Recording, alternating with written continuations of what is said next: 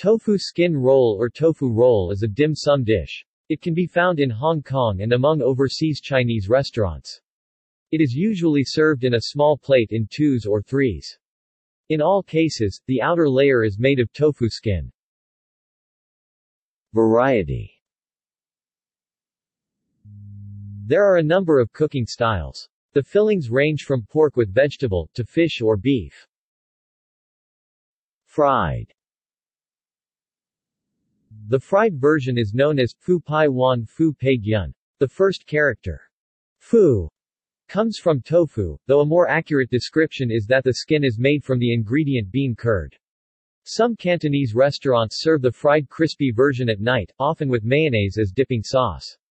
Another name is the Do Fu Wan Tofu Gyun. Some ingredients include shrimp, chicken, leeks, bamboo shoots, small carrots, tofu, scallions, sesame oil, or bean sprouts. Steamed The bamboo steamed version is generally known as Xianzhu Wan Xin Zutgyun. It is wrapped with dried tofu skin, fuzu fuzu. During the cooking process, the tofu skin is hydrated. It makes the roll very soft and tender. This is the version most commonly served as a dim sum dish during yum cha sessions. The steamed tofu skin rolls often contain bamboo shoots.